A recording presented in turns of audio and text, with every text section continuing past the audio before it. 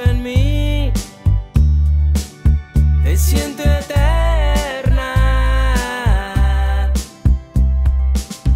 En mis pensamientos, sentimientos, brilla mi espíritu.